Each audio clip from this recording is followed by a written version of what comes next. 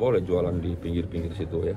Karena itu mengganggu warga sekitar ya, mengganggu juga ketertiban pengguna jalan. Tidak mudah kita langsung menyiapkan tempat parkir di situ karena lokasi juga tidak banyak. Jadi kita minta supaya warga yang datang ke situ tadi sudah kita batasi jumlahnya. Kita harapkan menggunakan tempat eh, eh transportasi publik.